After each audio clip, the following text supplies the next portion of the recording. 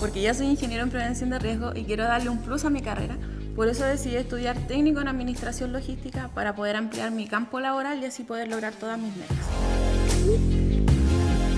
Elegí Santo Tomás por el buen prestigio que tiene y porque entrega dos certificaciones a lo largo de la carrera. Una es Administración de Almacén y la otra es Administrativo Logístico.